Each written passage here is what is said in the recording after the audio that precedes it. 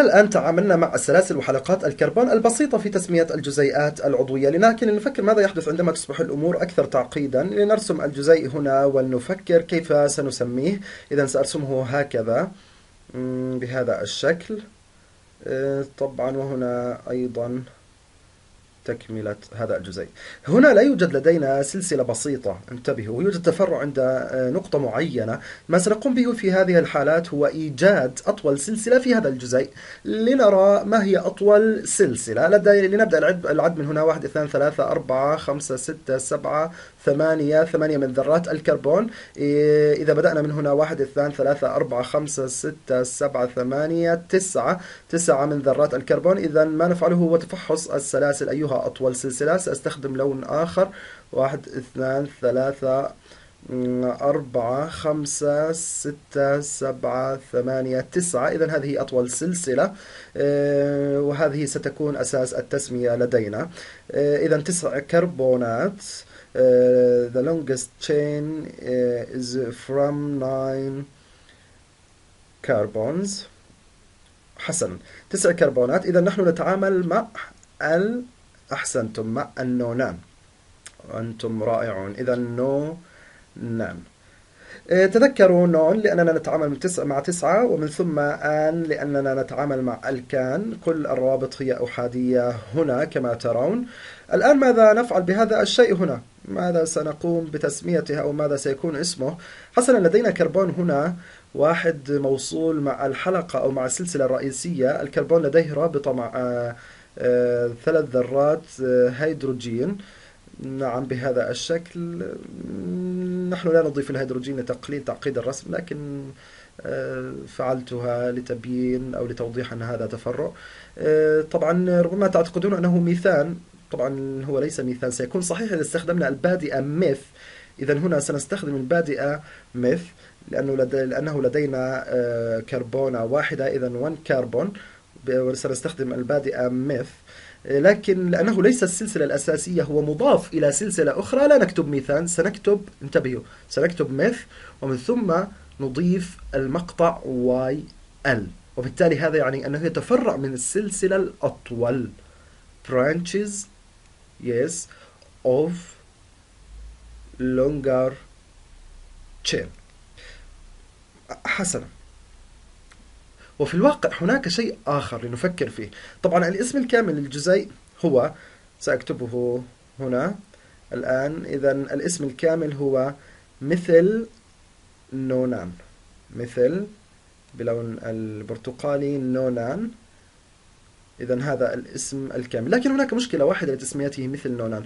هذا مثل نونان سأرسمه مرة أخرى. لدينا واحد اثنان ثلاثة أربعة واحد اثنان ثلاثة أربعة خمسة ستة سبعة ثمانية تسعة تسعة من ذرات الكربون. إذا هذا نونان. والذي رسمته هنا لدينا واحد اثنان ثلاثة. المثل هو هنا. إذا هذا ما رسمته للتو في الأعلى. سأقوم بهذا بنفس اللون. حسنا هذا ما رسمته أو باللون في الأعلى طبعا. ماذا لو كان واحد اثنان ثلاثة أربعة خمسة ستة سبعة ثمانية تسعة؟ ونقول أن مجموعة المثل المثل بدلا من أن تكون هنا على على الرقم ثلاثة تكون على الرقم أربعة. إذا كيف يمكن تسمية هذان الاثنان؟ مثل نونان. هذا الاسم لا يفرق في موقع مجموعة المثل على السلسلة الرئيسية. آه، لا يفرق بين مواقع مجموعتي المثل في المثالين ما يمكن عمله في هذه الحالة هو ترقيم الكربونات على أطول سلسلة على المجموعة المركزية أو الأساسية ونقوم بترقيمهم بحيث تكون مجموعة الإثل متصلة بأقل رقم ممكن. إذا هناك طريقتين لترقيم هذه السلسلة. يمكن بدء من هنا. واحد اثنان ثلاثة أربعة خمسة ستة سبعة. ومن ثم سنقول أن هذه ستكون مجموعة المثل مرتبطة بذرة الكربون السابعة. ويمكن البدء الترقيم من هذه النهاية. واحد اثنان ثلاثة. آه، ويمكن أن تكون متصلة مع ذرة الكربون الثالثة. إذا الصحيح أن نرقمهم بحيث نبدأ من المكان الأقرب آه، للمجموعة. واحد اثنان ثلاثة أربعة خمسة ستة سبعة ثمانية تسعة بهذا الشكل. إذا في هذه الحالة هذا سيكون المثل نونان. ومجموعة المثل هنا تتصل في ذرة الكربون الثالثة. سأستخدم لون آخر. هنا ثلاث.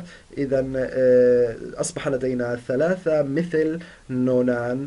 مجموعة المثل تتصل مع ذرة الكربون الثالثة من السلسلة الرئيسية كما نراها.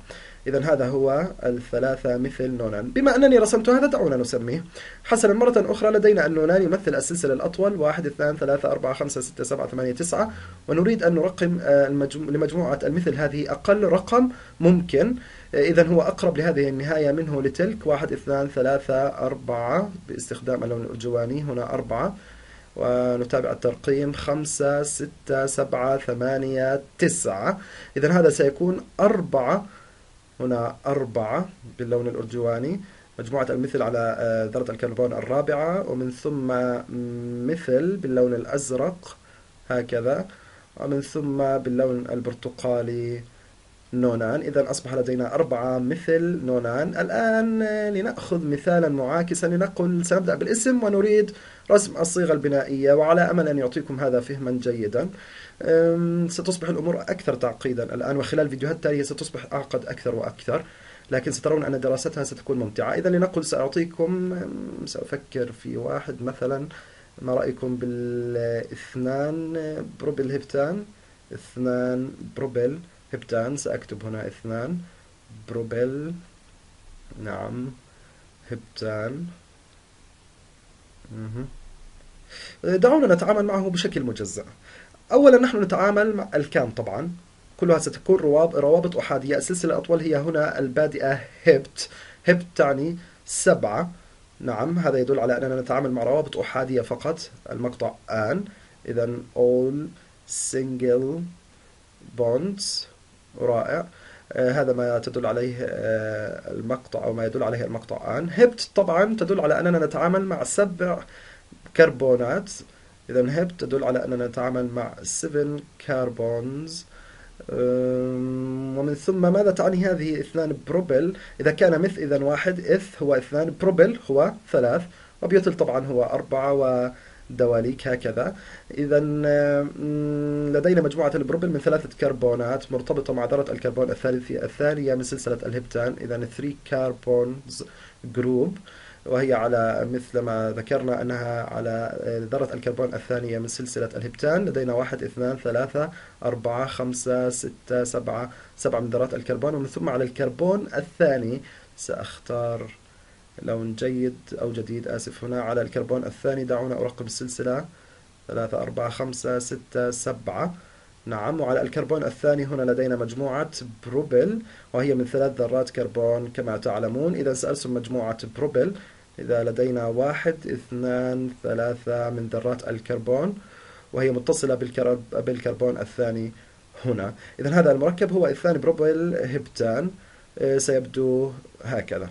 سأقوم آه، بواحد آخر ربما واحد أكثر صعوبة. لنقل لدينا ستة بيوتل تترا ديكان. ستة بيوتل تترا بيوتل نعم تترا ديكان.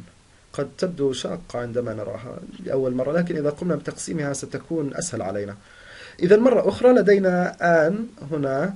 جميع الروابط هي روابط أحادية. تترا ديك ديك هي عشرة ومن ثم لدينا تترا هي أربعة أربعة زائد عشرة ويساوي أربعة عشر.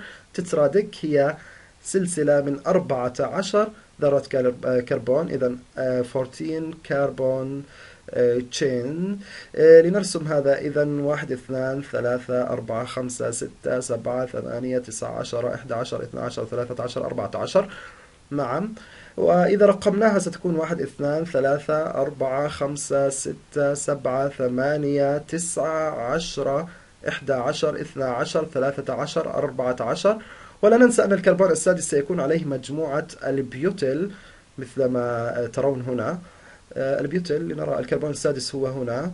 والبيوتل يجب أن نتذكر أن الميثل واحد آه، إثل اثنان بروبل ثلاثة. إذا البيوتل أربعة أربعة لذا لدينا مجموعة من أربع ذرات الكربون. سأكتب باللون هذا. إذا هذه مجموعة من أربع ذرات كربون four carbons أو four carbon carbons طبعا وهي مجموعة موجودة على ذرة الكربون السادسة هنا.